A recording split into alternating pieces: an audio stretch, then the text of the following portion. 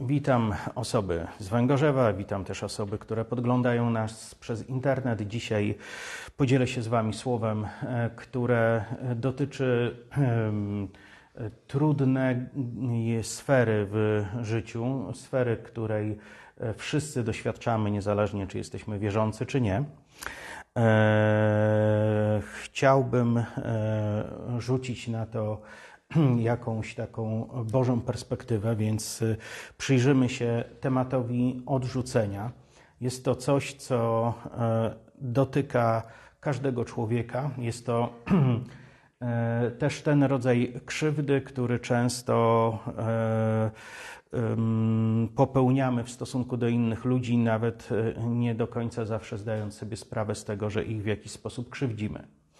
E, jeśli chodzi o odrzucenie, ono ma, może mieć wiele różnych wymiarów, od e, zwykłego focha, e, który przejdzie za minut parę, po inne, głębsze formy odrzucenia.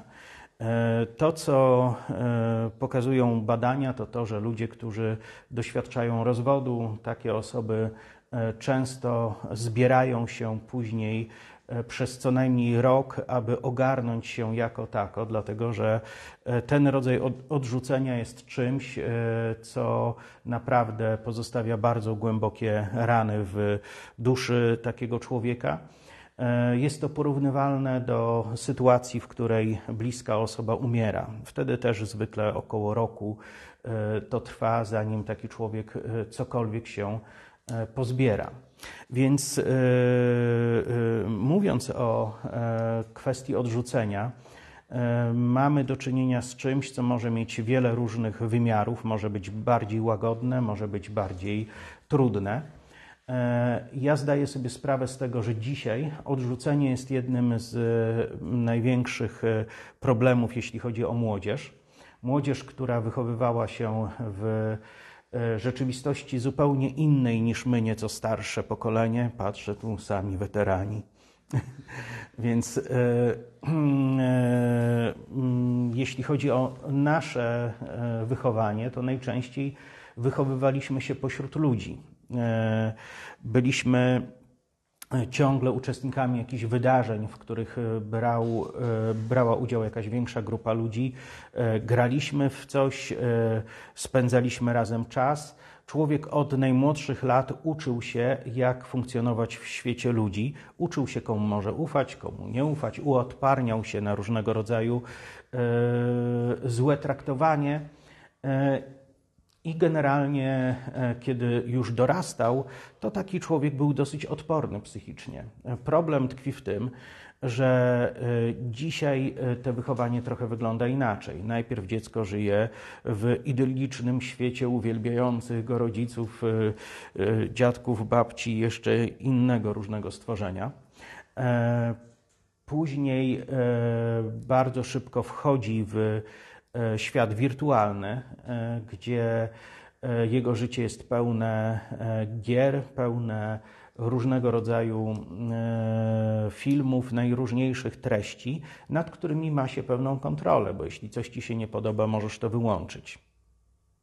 Jeżeli coś ci się podoba, możesz to wielokrotnie powtórzyć tyle razy, ile tylko chcesz w efekcie czego dosyć mocno psuje się wyobrażenie na temat świata zewnętrznego i odporność też tych młodych ludzi, e, którzy wychowując się w takim świecie wirtualnym, porozumiewając się z rówieśnikami przez komunikatory, co jest tą formą komunikacji, która e, nie E, daje nam do analizy emocji. Nie wiesz, czy ktoś ci coś napisał, dlatego że e, robi sobie z ciebie jaja, czy szydzi sobie z ciebie, czy e, dlatego, że naprawdę tak myśli. Tak naprawdę komunikacja pozbawiona wyrazu twarzy, pozbawiona emocji, pozbawiona atmosfery, którą niesie głos osoby, z którą rozmawiasz, nie daje ci takiej możliwości, abyś przeanalizował, z kim masz do czynienia. E, i tak naprawdę co się za tym kryje.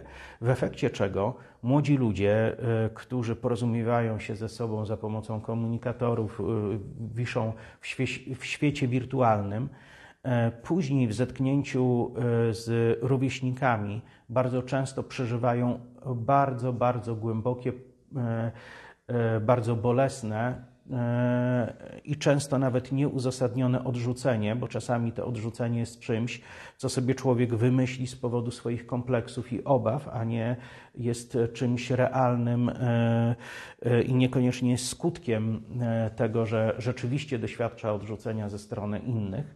Ale dziś dla młodych ludzi, odrzucenie jest jednym z największych problemów. Słyszałem jakiś czas temu, że przeciętny nastolatek w Polsce dzisiaj ma taki poziom stresu, ma taki poziom lęków, jaki w latach 50. i 60. kwalifikował do tego, aby e, taką osobę e, e, umieścić w szpitalu psychiatrycznym w celu leczenia. Dzisiaj to, co dzieje się w życiu tych młodych ludzi, których E, życie zostało bardzo mocno okaleczone przez świat wirtualny i przez zmieniające się czasy, e, jest e, niesamowicie trudne. Ja często, kiedy modlę się o młodych ludzi gdzieś na jakichś spotkaniach, to dostrzegam, że w życiu większości z tych ludzi problem polega na odrzuceniu, na lękach, na różnego rodzaju nerwicach, które wynikają z tego. I e, patrząc, w jaki sposób świat funkcjonuje, zdaję sobie sprawę z tego, że to będzie jednym z takich tematów, które ludzie będą musieli bardzo mocno odrobić e, też w kościele, jeśli chodzi o duszpasterstwo, e, dlatego że mm, nie da się funkcjonować w społeczeństwie, omijając najbardziej E, bolesne problemy, które e, dotykają tego społeczeństwa. Pewnie nie przeczytam niektórych książek, które zamierzałem przeczytać w tym roku, bo pewnie e, na mojej liście znajdą się takie książki jak Lęk Kępińskiego czy tym podobne, dlatego że E, zdaję sobie sprawę z tego, że jako wierzący ludzie powinniśmy wychodzić naprzeciw e, tym e, problemom, które mm, generuje zmieniający się świat. Każda epoka ma swój problem. Każda epoka ma jakieś mm, specyficzne dla swoich czasów problemy, które są rozpowszechnione w społeczeństwie, a my dzisiaj e, jesteśmy ludźmi, e, którzy e, pamiętają swoją przeszłość i którzy ukształtowali swoją odporność psychiczną w nieco innych okolicznościach. Mówię o tym nieco starszym pokoleniu, o tym, które jest bliżej pięćdziesiątki niż trzydziestki. E, ale e, mm, e, będziemy musieli stawić temu czoła, jeżeli chcemy, by nasze kościoły stały się też bezpiecznym azylem dla takich osób. Więc chciałbym dzisiaj trochę pomówić na temat odrzucenia w świetle Biblii. I chciałbym też, abyśmy nad tym E, zastanowili się. E, jest to temat trudny. To nie jest e, mówienie miłych rzeczy, abyśmy się poczuli lepiej. Ale jest to raczej jeden z tych tematów, który ma nam uświadomić, jaką odpowiedzialność ze sobą niesiemy jako reprezentanci Chrystusa w cierpiącym świecie. Więc e, jeśli zastanowimy się nad tym, e, jaka jest historia odrzucenia w ludzkości, to musimy e, uświadomić sobie, że po raz pierwszy odrzucenie, jakie mamy opisane w Biblii, miało miejsce w ogrodzie Eden. Co zrobiłbyś, co zrobiłabyś, gdybyś wiedział, że jesteś z kimś w bliskiej relacji, że jesteście sobie oddani, ale w pewnym momencie przychodzi ktoś i mówi tej osobie, z którą łączy cię prawdziwa więź, to idiota. Nie ma co mu ufać. Odwróć się od niego.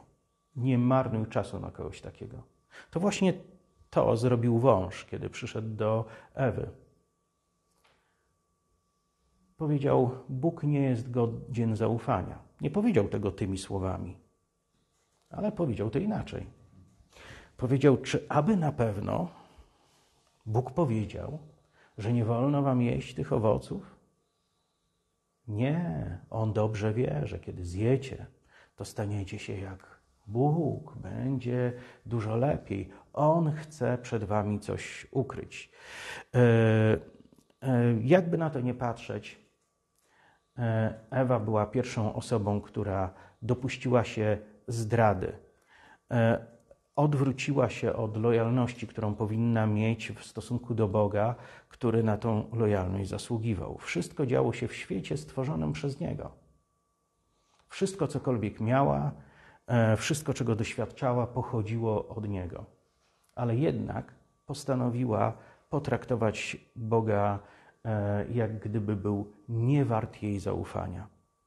A chwilę później wciągnęła w to również swojego męża to Adam i Ewa odrzucili Boga. Oni go wypędzili ze swojego serca, zanim zostali wypędzeni z raju. I Bóg na odrzucenie, którego doświadczył z ich strony, zareagował również odrzuceniem. Jeśli przyjrzeli, przyjrzelibyśmy się temu, to moglibyśmy dojść do wniosku, że odrzucenie jest jedną z najczęściej stosowanych broni, jedną z najczęściej stosowanych form przemocy psychicznej, jaką ludzie stosują w stosunku do siebie. E, jest jedną z rzeczy, za pomocą których też niektórzy ludzie znęcają się nad innymi i czasami dawkują to, aby regularnie móc kogoś torturować. E, są osoby, które bawią się odrzuceniem. E, wiecie, bywa, że na przykład ktoś, jakaś niezwykła niewiasta stała się obiektem e, czyichś westchnień.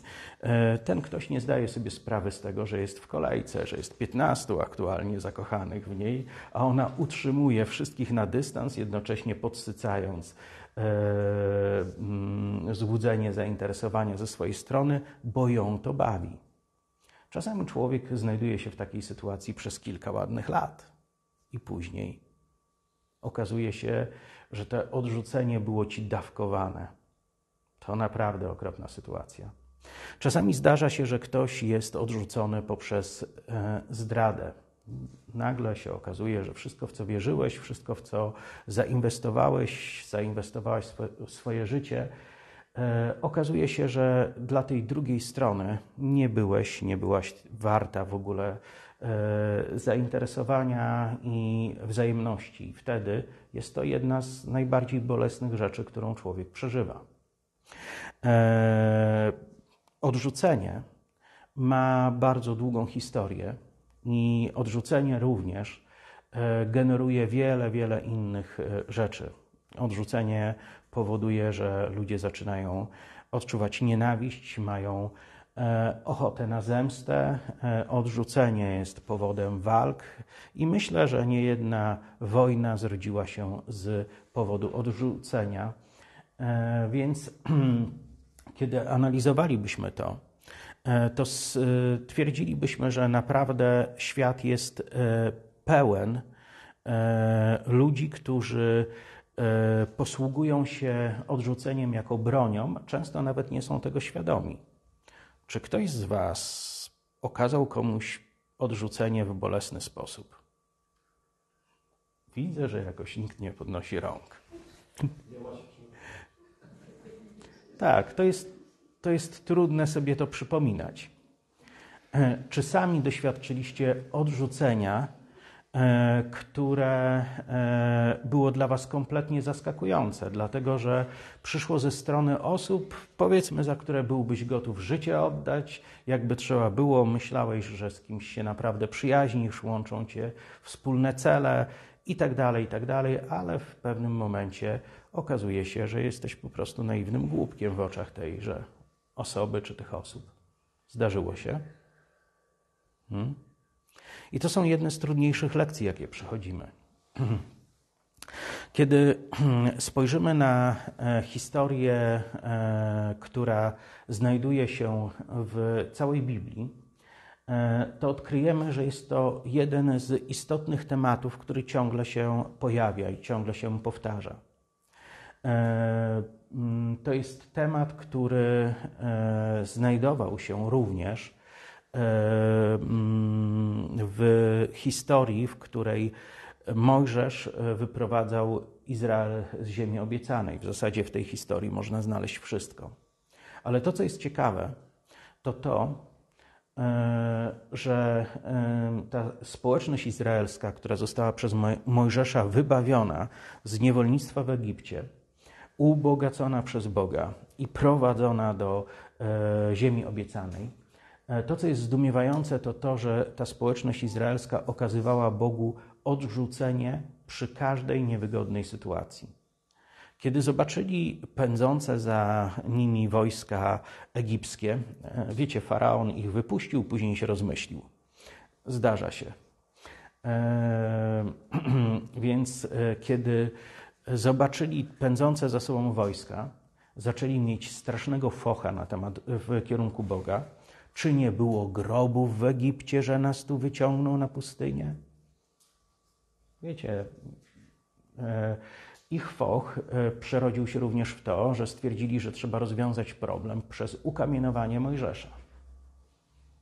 To naprawdę było okropne. Bóg był ich wybawcą, Bóg, ich był, Bóg dla nich był tym, który wybawiał ich z przerażającej sytuacji, e, a oni zamiast być mu wdzięczni, ufać mu, to każdy sygnał, e, który mógł to zaburzyć, oni wyolbrzymiali, aby świadczył przeciwko Bogu. Mojżesz był jednym e, w całym obozie, który potrafił się odnaleźć w tej sytuacji. Zaczął się modlić i Bóg dał ponadnaturalne rozwiązanie, jakim było przejście e, suchą nogą przez Morze Czerwone. I e, mamy tutaj ogromny kontrast między narodem izraelskim i między Mojżeszem który w trudnej sytuacji zwrócił się do wybawiającego ich Boga przez cały czas, ufając, że ów wybawca cały czas jest wybawcą. Ów Bóg cały czas jest Bogiem. Ów Pan nad rzeczywistością cały czas jest tym, że Panem i nic nie wymknęło się z jego rąk. Ale sytuacja, w której e, Izraelici poczuli się zagrożeni, była sytuacją, w której wybuchli wielkim fochem w stosunku do Boga i wielkim fochem w stosunku do Mojżesza, chcąc Mojżesza zabić. Z Bogiem by się to nie udało. Ale e, kiedy patrzymy na e, całą wędrówkę, to widzimy ten powtarzający się mechanizm, e, gdzie e, w trudnych sytuacjach Izraelici są oburzeni na Boga i go odrzucają. W trudnych sytuacjach są oburzeni na Mojżesza i go odrzucają.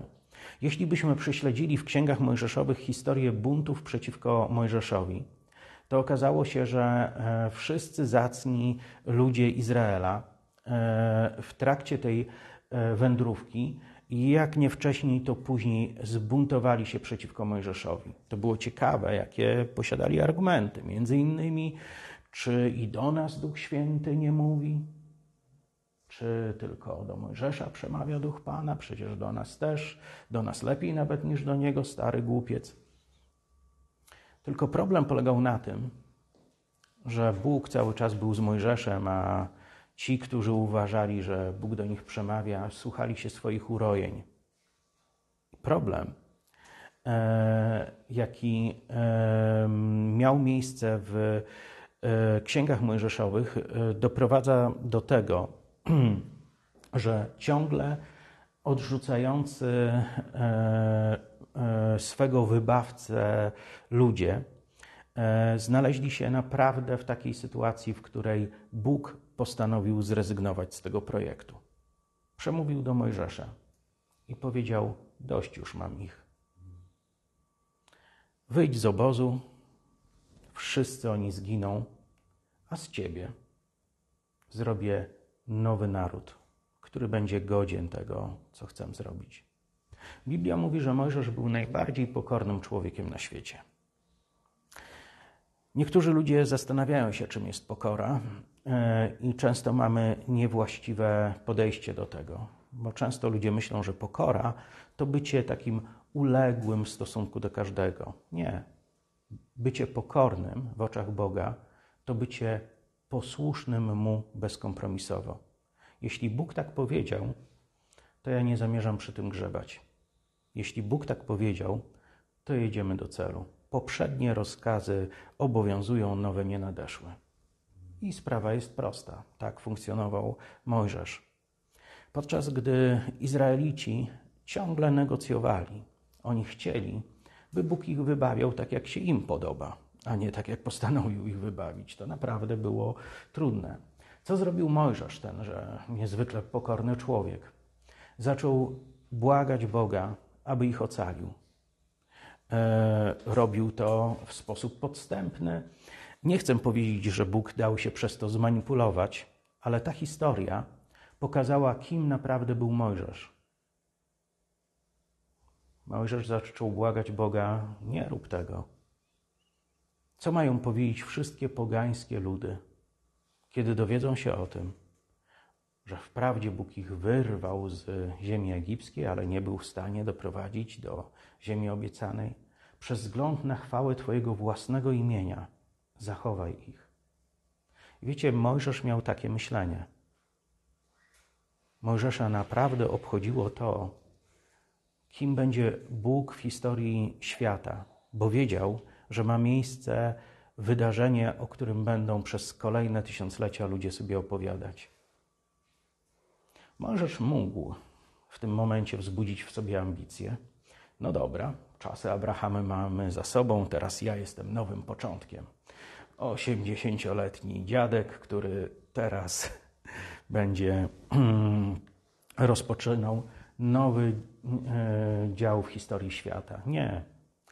E, Mojżesz naprawdę był niesamowicie pokorny i nie był kimś, kto byłby skłonny do odrzucenia ani Boga, ani tego ludu, który co chwila buntował się przeciwko niemu i co chwila chciał go kamienować.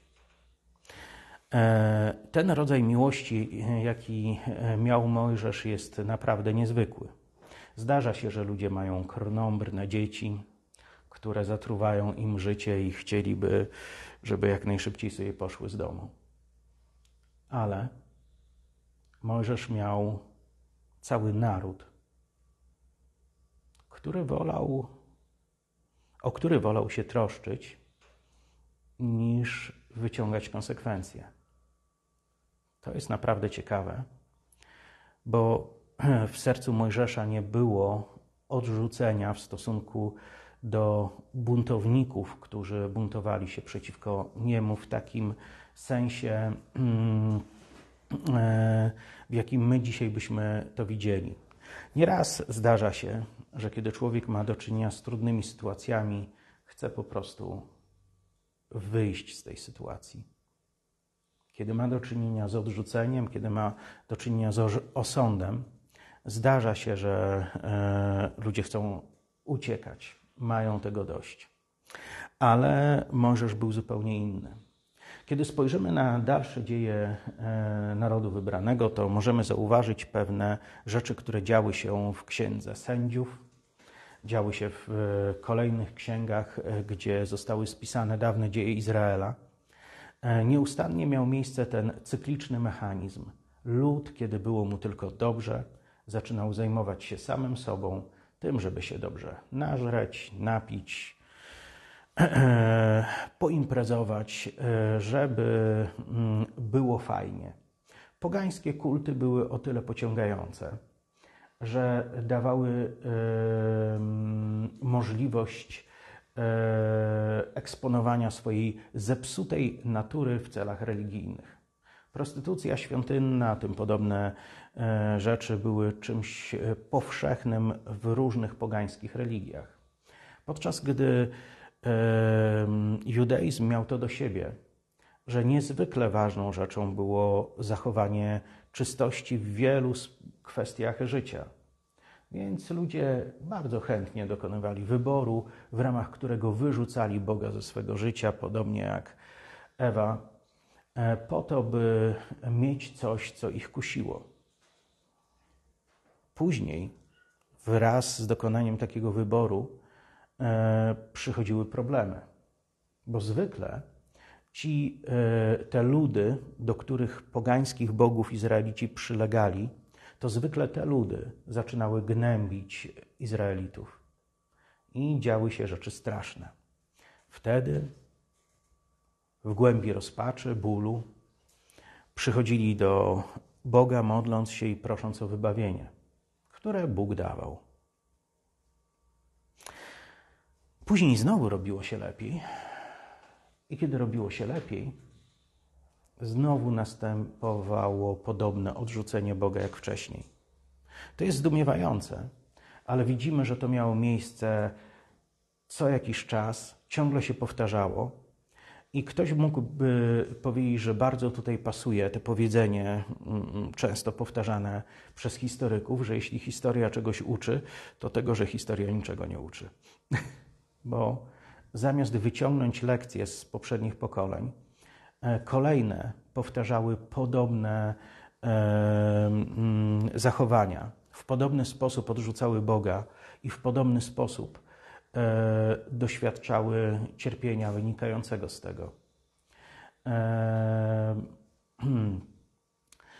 W historii Izraela działo się to wielokrotnie. W którymś momencie stało się tak, że człowiek wychowany przez kogoś, kto nazwany został najmądrzejszym człowiekiem na świecie, syn króla Salomona, który wcale nie skończył jako mędrzec, tylko w ostatnich latach swego życia dopuścił się bałbochwalstwa. Jego syn, zamiast e, e, kierować się mądrością starszych ludu, którzy powiedzieli: ulżyj wszystkim w podatkach. Byli przyciśnięci ponad miarę.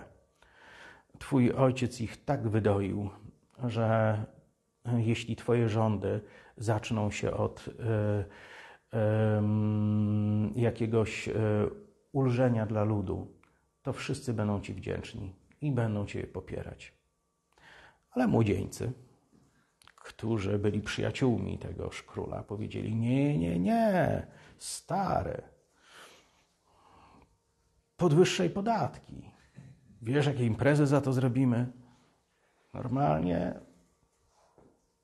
nie wiesz do głowy, co ci tam smutni starsi panowie mówią. Skąd oni mają wiedzieć, co jest lepsze dla ciebie, dla nas? My wiemy, co jest lepsze. Król podwyższył podatki. Państwo się rozpadło. Większość plemion wystąpiła przeciwko królowi. Odrzucili króla, dlatego że król najpierw odrzucił lud, nie chcąc słuchać ich próśb. Co za tym idzie, po jakimś czasie okazało się, że to jest niewygodna sytuacja, bo świątynia była w Jerozolimie a nowo utworzone państwo Izrael, odrębne od Judy, e, było pełne mieszkańców, którzy chcieli przychodzić, oddawać Bogu chwałę w Jerozolimie. Więc te kontakty dla nowego króla e, nad e, tymi oderwanymi plemionami wydawały się niepokojące. Więc stwierdził, że najlepiej byłoby wyrzucić Boga takim, jakim jest, świątynię i cały kult z historii tego ludu i postawił dwa byki w dwóch różnych częściach kraju, mówiąc tutaj przychodźcie oddawać chwałę Bogu. Wiele, wiele lat później jeden z proroków powiedział, że tak jak Izrael złamał swoje przymierze z nim, tak również Bóg bierze rozwód z Izraelem i odrzucił go nie wiem, czy kojarzycie, co stało się z tymi plemionami, bo my znamy z Biblii e, uprowadzenie babilońskie. To było uprowadzenie, które dotyczyło e, kraju Judy, ale wcześniej miały miejsce uprowadzenia asyryjskie. E, wtedy ludność tych izraelskich ziem została uprowadzona na tereny dzisiejszego Afganistanu, Pakistanu, to w tamtym regionie znaleźli się oni jako osadnicy.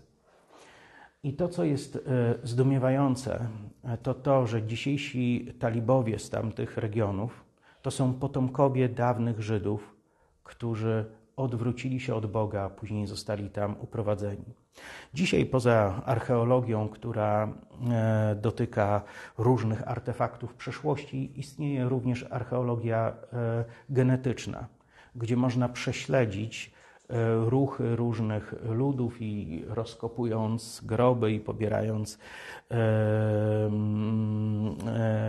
próbki DNA, można ustalić, kto skąd pochodzi. I to jest naprawdę przerażające, że e, dzisiejsi talibowie to są potomkowie dawnego Izraela, który porzucił Boga.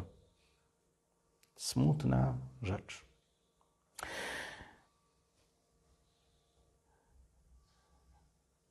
Odrzucenie ze strony Izraela zaowocowało później odrzuceniem ze strony Boga.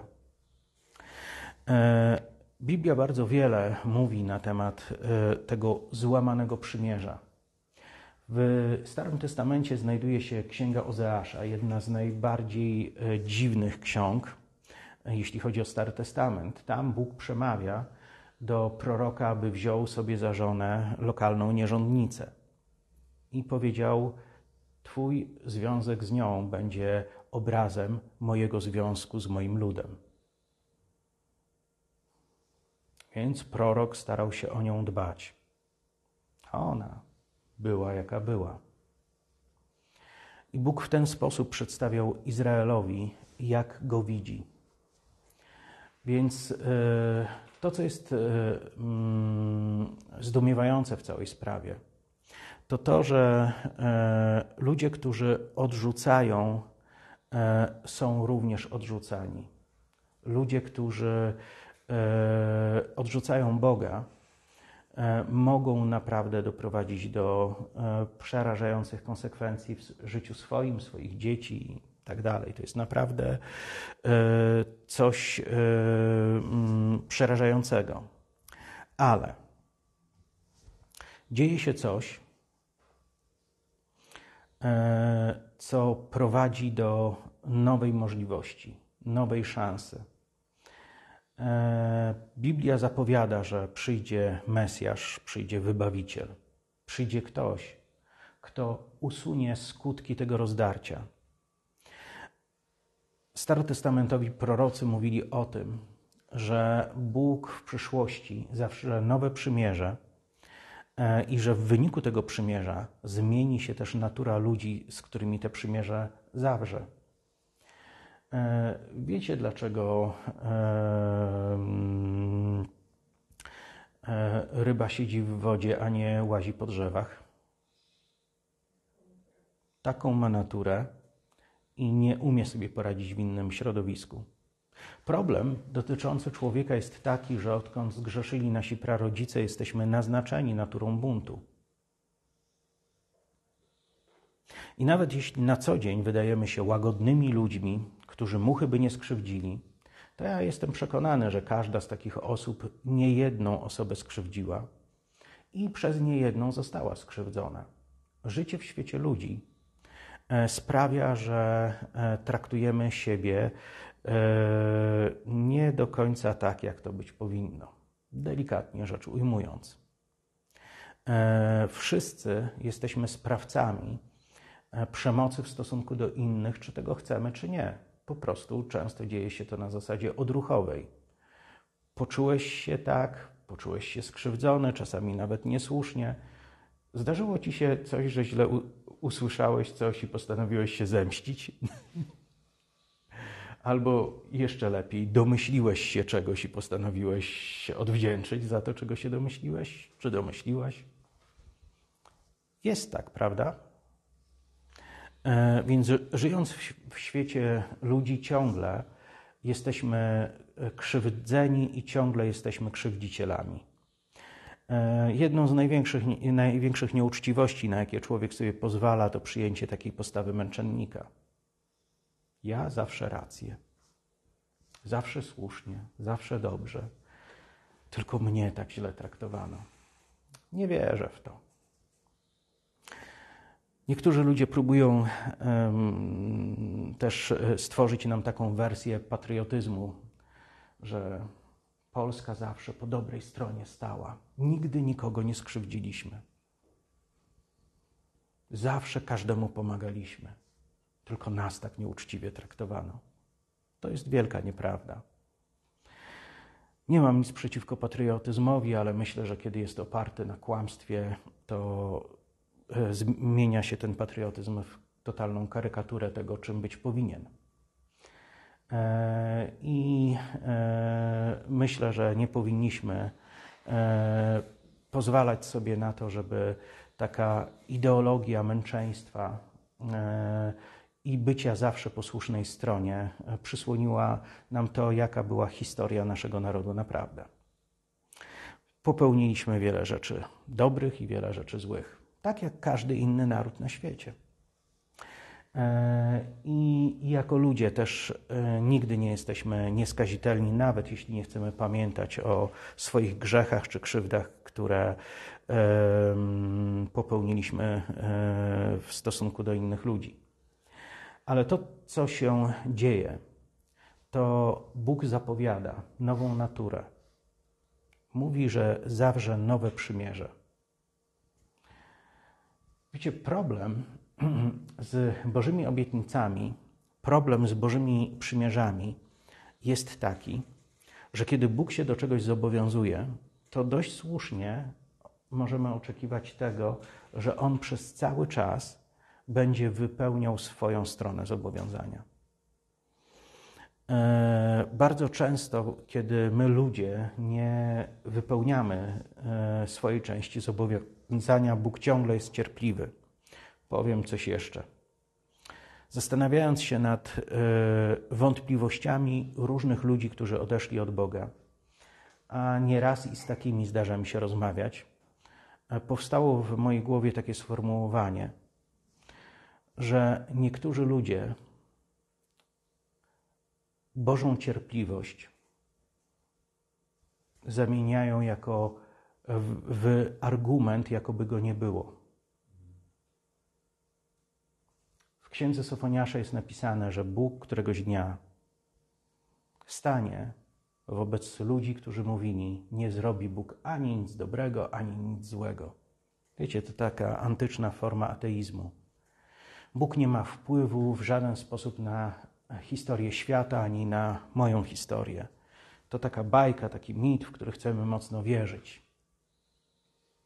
Niektórzy tak mówią. Niektórzy z tego powodu, że są zawiedzeni w stosunku do e, oczekiwań, jakie mieli e, do Boga, e, zaczynają e, mm, traktować go tak, jakby go nie było. Tylko problem tkwi w tym, że często jest to pomyłka na poziomie kompletnie fundamentalnym. My zostaliśmy powołani do wypełnienia Bożej woli i kiedy ją wypełnimy, Bóg nam obiecał nagrodę, wieczne odpocznienie w innym świecie. I to jest prawda Ewangelii. Ale jeżeli ktoś przedwcześnie domaga się nagrody, Boże, ja będę Ci wierzył, ale musisz się o mnie tak troszczyć, żeby przerastało to wszystko, co mógłbym wypracować sam, bo w końcu tyś wybawca, to mnie wybawiaj. Wybaw mnie z braku najlepszego samochodu, wybaw mnie z braku najlepszego domu i tak dalej, i tak dalej. Nie na tym to polega. Jesteśmy tutaj, by wykonać Jego wolę Jesteśmy tutaj, by oddać Mu swoją doczesność, a On zobowiązał się do tego, że będzie o nas troszczył się w wieczności i że zadba o to, abyśmy zostali naprawdę nagrodzeni w tym nigdy nie przemijającym świecie, po tym, kiedy skończy się nasze życie tu. E, ale często, kiedy ludzie nie doświadczają e, wypełnienia swoich pragnień zaczynają być źli na Boga i nawet popełniają takie odrzucenie w sercu: Bóg mnie zawiódł. To nie jest mądre. Hmm. Wiele rzeczy złych wydarzyło się w moim życiu ale trudno byłoby mi dojść do miejsca, w którym bym powiedział, że Bóg mnie zawiódł. Świat, w którym żyję, nie jest uczciwy. Świat, w którym żyję, jest pełen też nieuczciwych ludzi, pełen też wrogich demonów. I nie będę winił Boga za rzeczy złe, które mnie spotykają, bo nie pochodzą one od Niego. E, ale wiecie, bywa, że niektórzy ludzie popełniają masę zła, utrzymują się e, wręcz ze zła, e, dorabiają się ogromnych majątków na źle, które popełniają notorycznie i stwierdzają, hmm, jeśli byłby Bóg, to pewnie by coś z tym zrobił. I w ten sposób hmm, cierpliwość Boga, która w końcu odnosi się do ich wieczności, tą cierpliwość traktują jako argument za swoim ateizmem czy odrzuceniem e, Boga absolutnie ze świata swoich myśli. Kiedyś Tutaj się kręcę, muszę to sobie odtworzyć e, i doczytać. Ale kiedyś, e, jak to e, zwykle Stalin zwykł czynić, ustanowił jednego zbrodniarza, aby popełnił w jego imię masę zbrodni, a później następnego, żeby usunął poprzedniego, żeby nie było i cały jego aparat, którym się posługiwał, żeby nie było świadków nawet, którzy mogliby na ten temat kiedykolwiek zeznawać. Komunizm tak działał, zresztą nie tylko komunizm. E, wiele rządów w historii e, działało w podobny sposób. Najpierw zlecano służbom specjalnym załatwienie jakiejś sprawy, a później załatwiano te służby specjalne, żeby nie było nawet świadków, że kiedykolwiek rząd był w te sprawy zamieszany. Nie pamiętam już kolejności, pamiętam nazwiska, takie botaniczne. E, był e, Jeżow i Jagoda. Nie pamiętam, który był pierwszy, który drugi. Ale e, kiedy jeden z nich, bodajże Jeżow, wykonał mm, zadanie, doprowadził do śmierci ogromnej ilości ludzi w czystkach. Wiecie, ci ludzie byli przesłuchiwani, torturowani w okrutny sposób i każdy z nich wiedział, że nie przeżyje. I od każdego z nich domagano się całej listy szpiegów, e, których czekał ten sam los. Więc e, ci ludzie pisali cokolwiek, aby złożyć jakiekolwiek zeznania. Zeznawali na mm, zapamiętane nazwiska ze szkoły, na cokolwiek. I każda kolejna osoba to było takie demoniczne, demoniczny cyrk, gdzie każda kolejna przypadkowa osoba E, znowu była poddawana nieludzkim torturom i domagano się całej listy nazwisk. I później ci ludzie trafiali. KGB było i sędzią, i prokuratorem, i adwokatem, przy czym roli adwokata nie, od, nie odgrywało. Nie odpowiadali przed żadnym sądem, więc mogli być e, tymi, którzy bezkarnie mordowali tych ludzi. To naprawdę była ogromna maszyna zbrodni. Nieludzkie rzeczy się działy. No i w którymś momencie Stalin stwierdził, że sprawa została załatwiona. Postanowił więc usunąć owego człowieka, który wiedział o wszystkim i mógłby kiedyś zeznawać, może by uciekł za granicę i o wszystkim opowiedział, trzeba było go zabić. Więc ten wiedział, co go czeka, bez tortur zgodził się na zeznanie wszystkiego i podpisanie wszystkiego, co mu każą, bo wiedział, jak to wygląda, sam tworzył ten aparat. E, I był taki moment, że trzeba było zrobić e, zdjęcia z procesu, na którym miał być wydany wyrok. Bodajże Jagoda, mogę mylić e, ich kolejnością, ale tak mi się zdaje. Jagoda przyszedł do Jeżowa do więzienia żeby zajrzeć do celi i sprawdzić, czy czasem nie dostał obłędu z powodu tego wszystkiego, co się dzieje i jak się będzie prezentował w sądzie. Więc przyszedł i został zaskoczony słowami Jeżowa. On powiedział, a jednak Bóg jest. Ten oszołomiony tymi słowami komunista, stanął przed nim i mówi: Jak możesz tak mówić? Ty, komunista? Członek partii? W ogóle, jak możesz mówić, że Bóg jest? Ten powiedział: Słuchaj, złamałem wszystkie przykazania, jakie kiedykolwiek Bóg dał, żeby służyć wiernie Stalinowi. I widzisz, jaka nagroda mnie spotyka ze strony Stalina. A Bóg obiecał, że tych, którzy będą łamać Jego przykazania, ukaże. Więc na co to wygląda? Jednak Bóg jest. Nie wiem, co później musiało dziać się w głowie następcy owego zbrodniarza, ale czasami ważne lekcje, które powinniśmy odebrać znacznie wcześniej, odbieramy dużo, dużo za późno.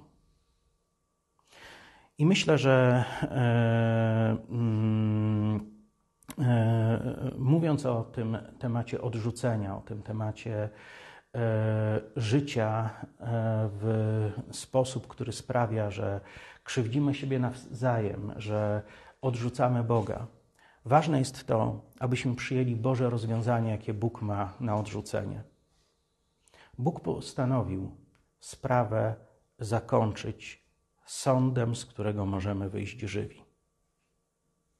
Bóg postanowił, że okaże nam łaskę, okaże nam miłość, okaże nam dobroć w sposób nieporównywalnie większy niż jak stało się to za czasów Mojżesza.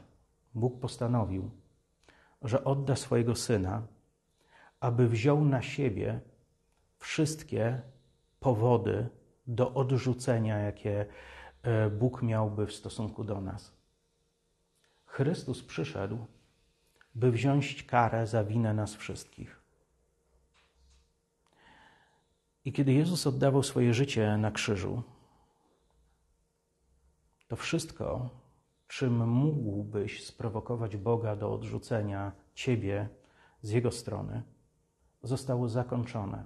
Bóg postanowił, że Jego gniew w sposób ostateczny zostanie wylany w tym momencie i że już nigdy nie będzie dotyczył Ciebie.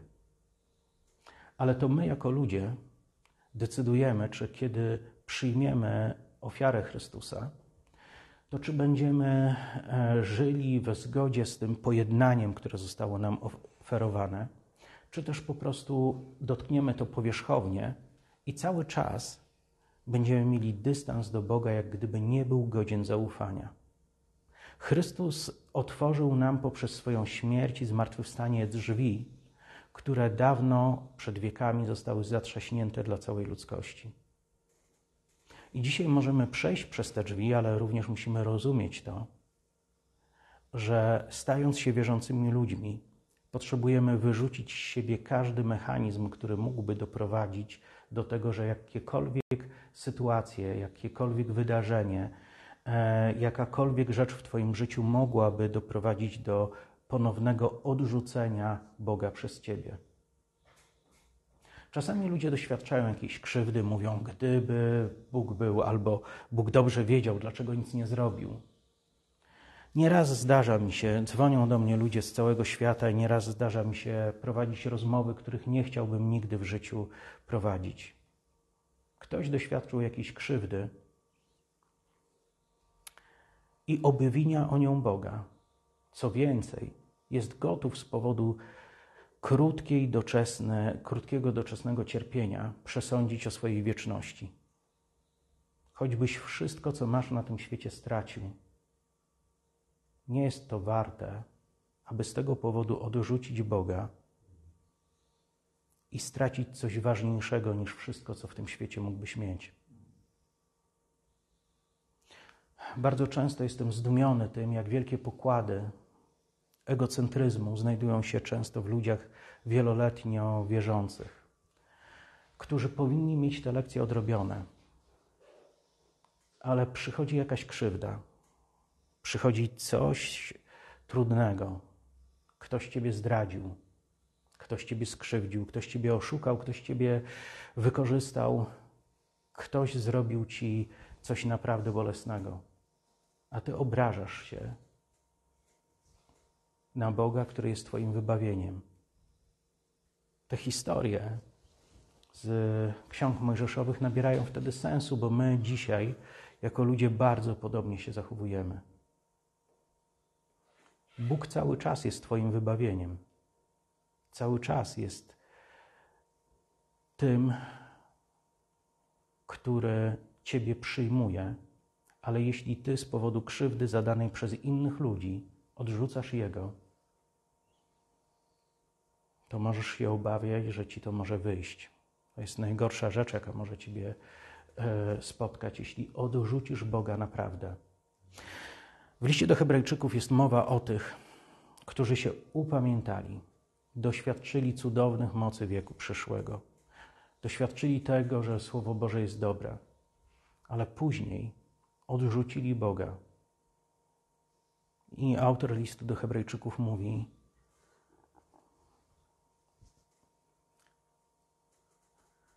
że ich powrót musiałby być jak powtórne krzyżowanie Chrystusa.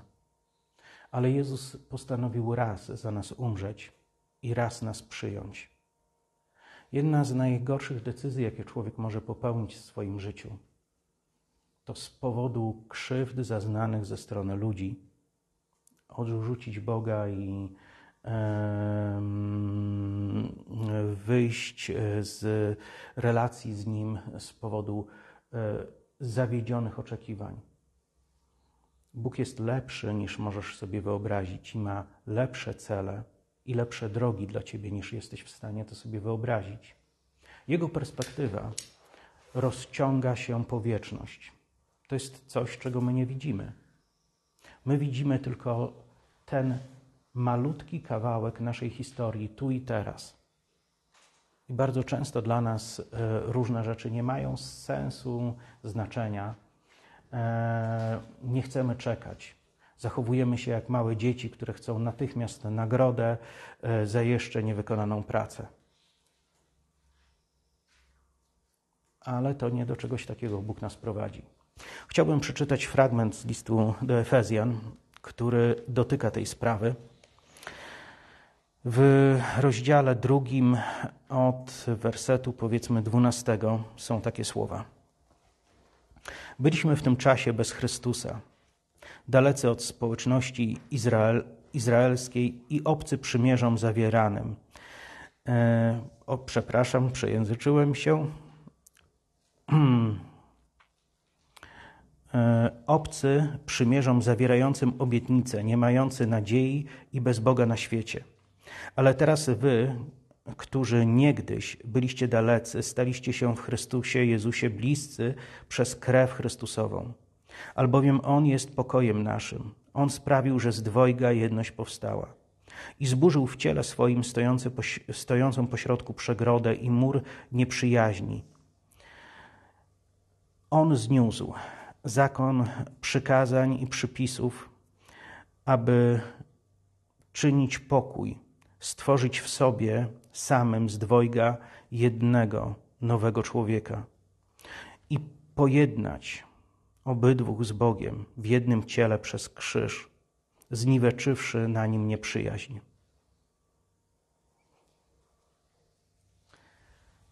Apostoł Paweł, jako rasowy Żyd, piszący w tym momencie do pogan z Efezu, te dwie społeczności różniły się od siebie tak bardzo, jak tylko mogły się różnić.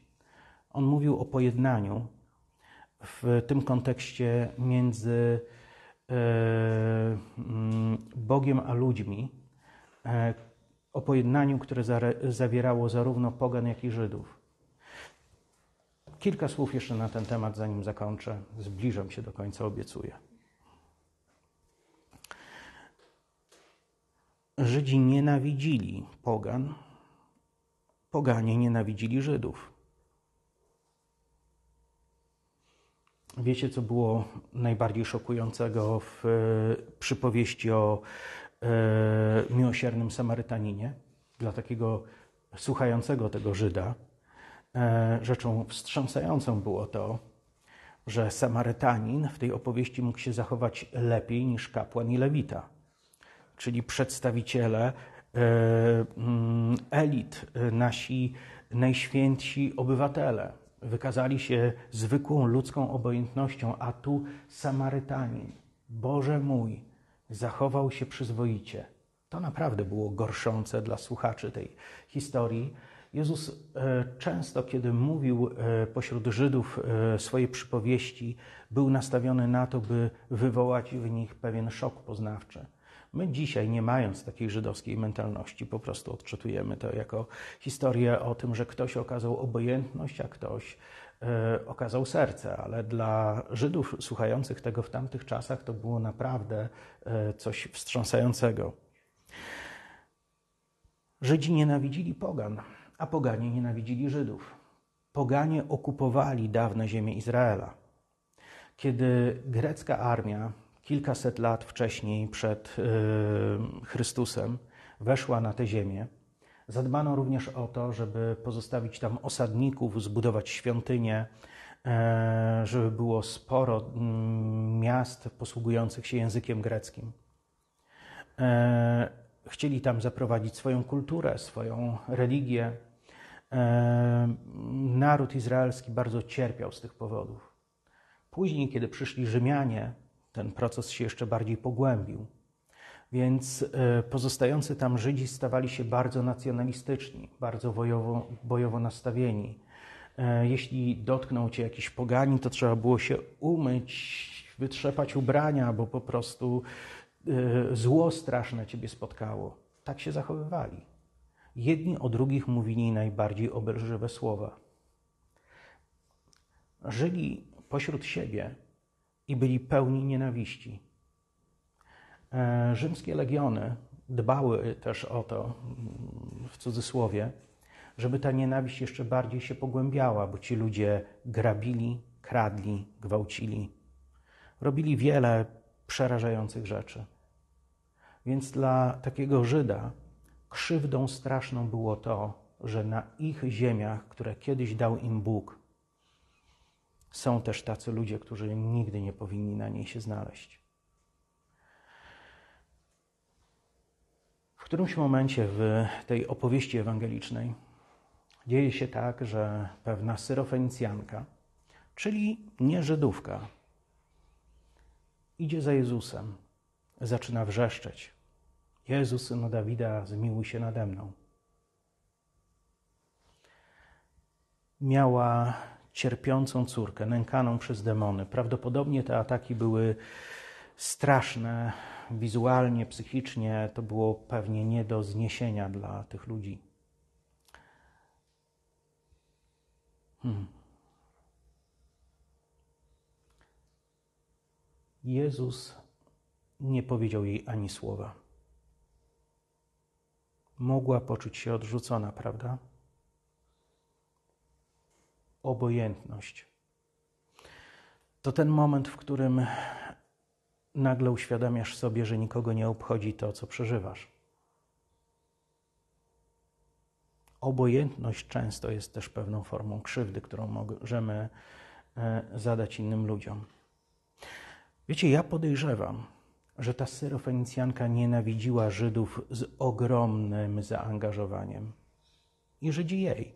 Myślę, że wielokrotnie znajdowała się w sytuacjach, w których można było dać temu wyraz z jednej i z drugiej strony. Ale teraz szła za Jezusem, bo stwierdziła, że jeśli Żyd ma pomoc dla jej córki, to, to jej to już nie obchodzi, jakie granice będzie musiała przekroczyć. I przekroczyła granicę obojętności darła się za nim dalej. Jezu, synu Dawida, zmiłuj się nade mną. Dziarska grupa uczniów wiedziała, co w tej sprawie zrobić, więc powiedzieli: Panie, odpraw ją, bo wrzeszczy za nami. Psuli, kli, psuła klimat e, misyjnej wycieczki. Więc wiesz, nie tylko obojętność, ale też aktywność przeciwko Tobie to naprawdę może cię zranić, prawda? Dalej się darła. Jezus zatrzymał się i powiedział słowa, które były odzwierciedleniem tej międzynarodowej nienawiści, która miała miejsce w tamtych czasach. Jednym z najbardziej obraźliwych słów, jakie można było powiedzieć w stosunku do pogan, to pies. Nie będę tłumaczył, te, jakie było znaczenie, i w ogóle nie chodziło tu o kudłate tworzenie. Tylko słowo pies w tamtym języku znaczyło coś zupełnie innego, oznaczało pewien rodzaj hańby w życiu człowieka. Jezus mówi niedobrze. Jest brać chleb dzieci i rzucać go szczeniętom. Wiecie, ja podejrzewam, że ta kobieta wielokrotnie uczestniczyła w różnych kłótniach, obelgach, sporach.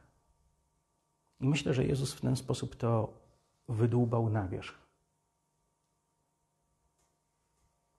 I ta kobieta musiała zdecydować, co będzie robić dalej. Czy dalej będzie nienawidzieć i odszczeka mu się, czy przez cały czas będzie przekonana, on ma to, czego potrzebuje moja córka, i jestem gotowa przekroczyć wszystkie granice, by to zdobyć. I ona powiedziała: Tak, panie, ale nawet szczenięta mogą nasycić się z tego, co spada ze stołu dzieci. By to powiedzieć, musiała zrezygnować z nienawiści. Musiała zrezygnować z tego wszystkiego, co było między Żydami a poganami. Jezus powiedział jej: Z powodu tego słowa idź Twoja córka jest uwolniona. Poszła i okazało się, że tak jest. Ale to, co ma miejsce w tej historii, to spotkanie dwóch nacji,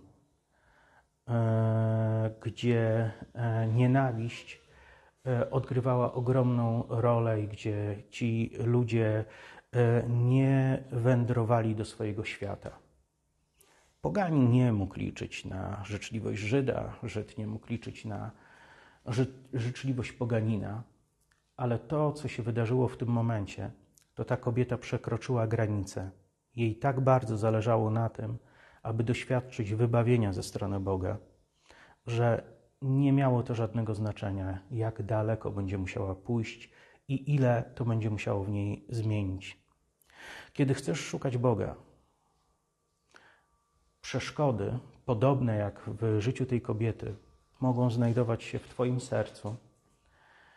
Twoje dotychczasowe rozczarowania, twoje, Twoja zła historia, e, być może poczucie obojętności ze strony Boga, które utrzymywało się w Twojej świadomości przez lata, w tych trudnych sytuacjach, w których liczyłbyś na Niego najbardziej. Być może takie historie są czymś, co sprawi, że nawet nie odrzucając Boga, nie zaczniesz się do Niego zbliżać.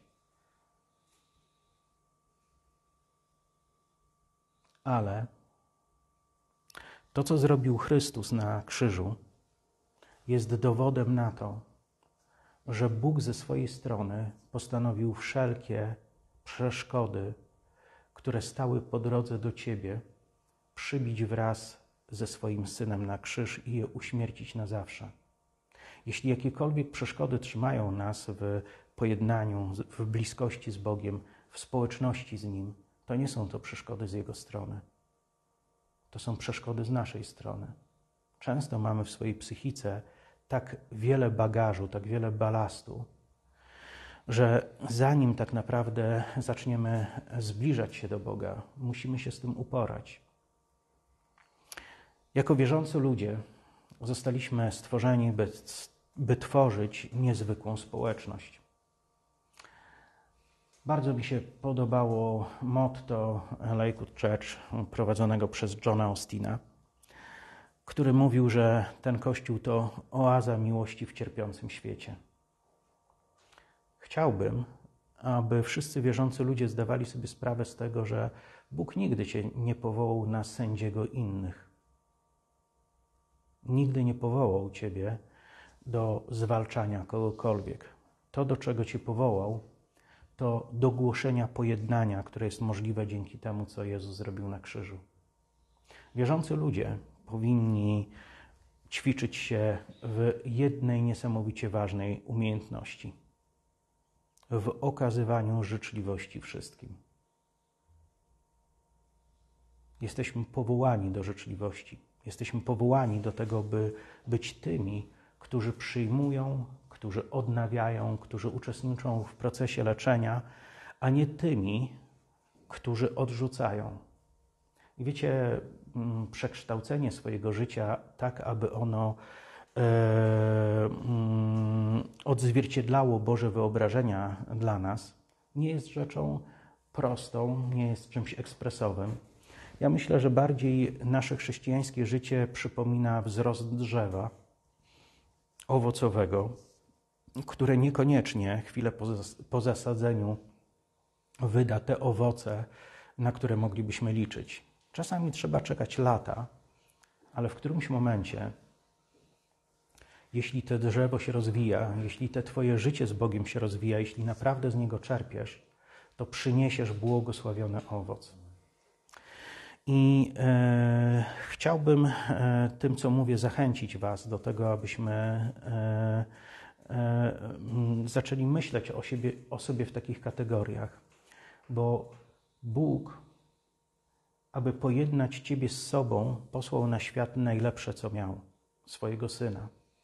Ale teraz, by cierpiący ludzie w tym cierpiącym świecie mogli doświadczyć Bożej miłości, Bożej troski, e, Bożego dotknięcia, Bożej mocy, również Bóg posłał najlepsze, co miał. To jesteś Ty. Czy dostosowaliśmy się do tego Jego wyobrażenia? Jesteś najlepszym, co Bóg ma w tym świecie.